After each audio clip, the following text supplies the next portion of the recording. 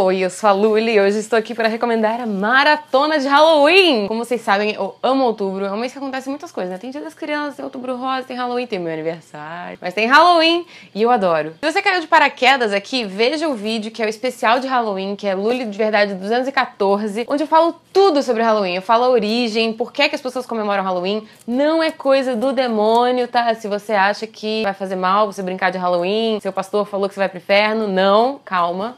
Não, é só uma brincadeira. E tem uma origem muito legal. Por... Enfim, eu explico tudo lá naquele vídeo, né? Não vou explicar de novo. Olha só, temos até um gato preto pra decoração do vídeo de hoje.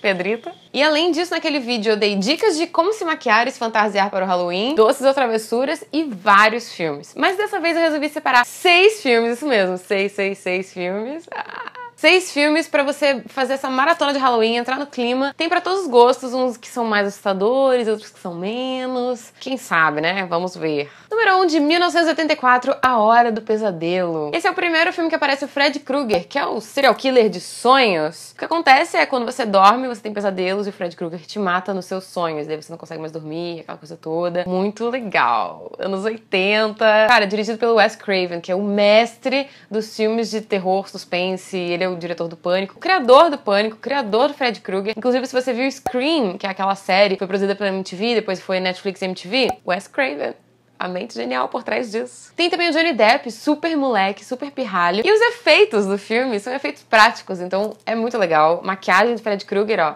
assustadora. Fica a dica, inclusive, pro Halloween, para você comemorar se fantasiando de Fred Krueger. Número 2, de 2002, O Chamado. Inspirado no filme japonês de 98. Eu não tenho coragem de ver o japonês, então por isso que eu botei o americano nessa lista. Mas se você já viu o americano e você, tipo, isso é bolinho, eu posso muito mais. Vejo japonês, porque todo mundo fala que é muito mais assustador. Aliás, os filmes de terror japoneses são bem assustadores. Tem um vídeo de um canal, não sei se é do Cinefix ou do Vox, que é por que, que os filmes de terror japoneses são tão bons. Justamente porque você cria uma entidade, uma coisa que desafia as leis da física. Então ela pode aparecer a qualquer momento, em qualquer lugar, e só você tá vendo. Enfim, eu fugi do assunto. O chamado é a história de um VHS, uma fita cassete, que se você assiste sete dias depois você vai morrer. Então tem uma jornalista investigando isso, que é a Naomi Watts na versão americana, e ela vai até as últimas consequências para descobrir de onde veio esse VHS, por que, que, as pessoas morrem. Vários sustos, gente. Eu tenho medo até hoje desse filme. Eu falo, fico até arrepiada. Não tem TV na minha casa.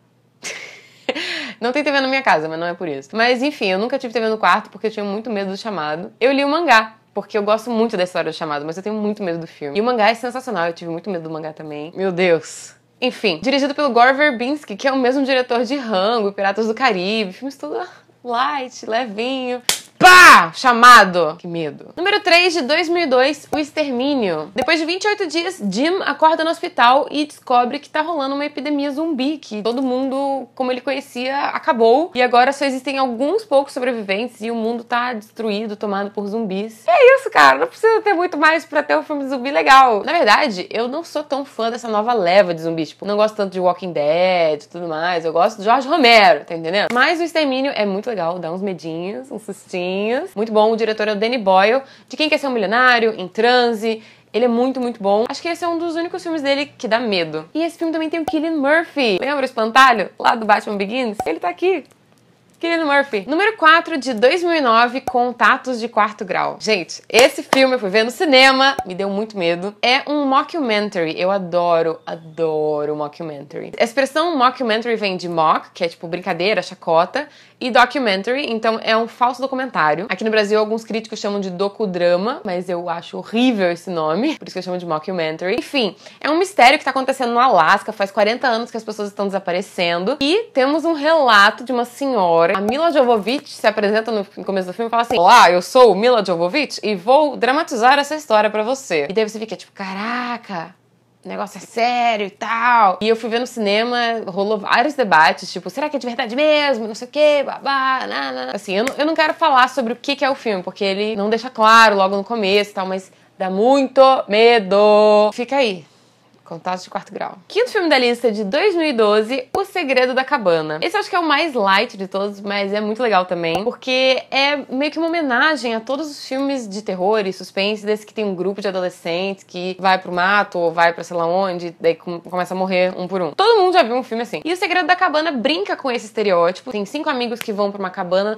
no meio da floresta para passar um final de semana, feriado, sei lá. E daí coisa começa a acontecer e daí eles começam a descobrir umas paradas, tipo assim, que não acontece nesses outros filmes. Eles descobrem o que está por trás da Matrix. O filme tem o Chris Hemsworth e é roteirizado pelo Joss Whedon, que é roteirista de vários filmes da Marvel, Vingadores e tudo mais. O filme é bem legal. Não é tão assustador quanto os outros dessa lista. Só dá um medinhozinho, assim, mas não é aquela coisa traumatizante. Já acho que eu falei demais, então fica aí com essa sugestão. Não vou mais falar nada. Até derrubei aqui o chapéu de bruxa. E o sexto filme dessa lista, de 2013, Invocação do Mal. Eu juro pra vocês, eu não costumo recomendar filmes que eu nunca vi, pois não podemos recomendar o que não vimos. Mas Invocação do Mal é o único filme dessa lista que eu não vi, porque tenho medo. Eu vi o trailer, eu não consegui ver o trailer, gente. Todo mundo fala que esse filme é muito, muito bom. Eu fui perguntar pros meus amigos, tipo, ah, o que, que as pessoas têm que assistir? Maratona de Halloween e tudo mais. Todo mundo falou Invocação do Mal. Então, assim, como eu não tenho coragem de ver, eu deixo para vocês verem e me contarem se gostaram, entendeu? A história é de uma investigação paranormal inspirada em fatos reais.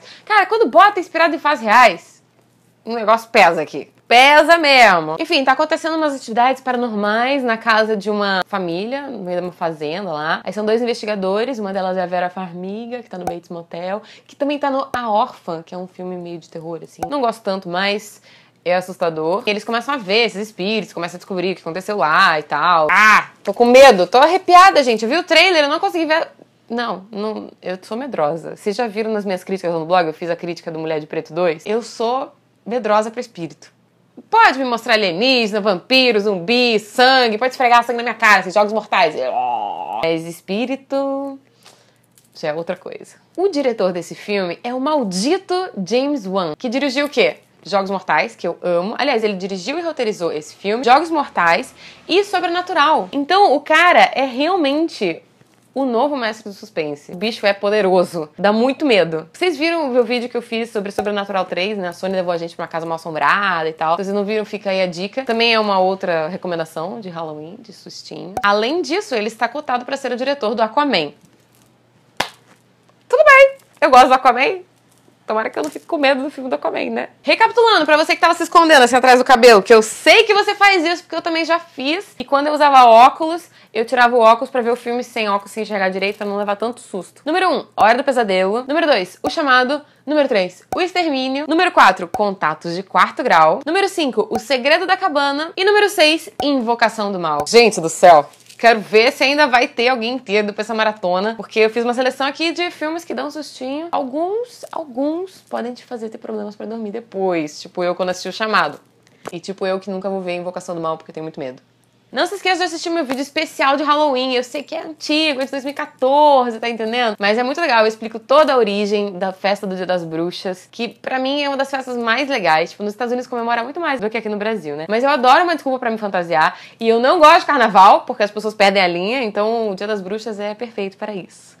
Bom, esse foi o vídeo de hoje, espero que vocês tenham gostado. Quero que vocês comentem aqui embaixo o que, que vocês acharam dessas minhas recomendações e outras recomendações que vocês tenham pra maratona de Halloween, Dia das Bruxas, muitos sustinhos, doces ou travessuras. Se você gostou desse vídeo, não esqueça de curtir, compartilha com os amigos, manda lá no WhatsApp. Galera, festa de Halloween aqui em casa, vamos ver esses filmes que a Luli recomendou. E é claro, não se esqueça de se inscrever aqui no canal para receber os vídeos novos todas as terças e sextas tem vídeo novo. Muito obrigada por ter assistido e até a próxima. Tchau!